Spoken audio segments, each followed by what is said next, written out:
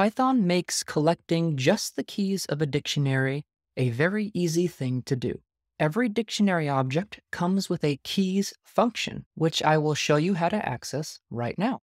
Here is our dictionary of sports, the keys being the numbers 1, 2, and 3, and the values being basketball, baseball, and football. If we use the dot keys function on our dictionary object D, we can see that we are returned with the dict keys object. To make this a more useful item to work with, I will turn this into a list using the built-in Python function list. And here we have returned a list of all of the keys in the dictionary.